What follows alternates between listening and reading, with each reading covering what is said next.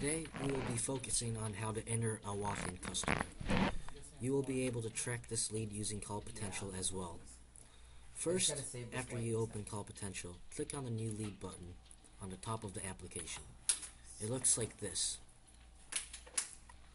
The standard lead card will appear, allowing you to enter the lead information.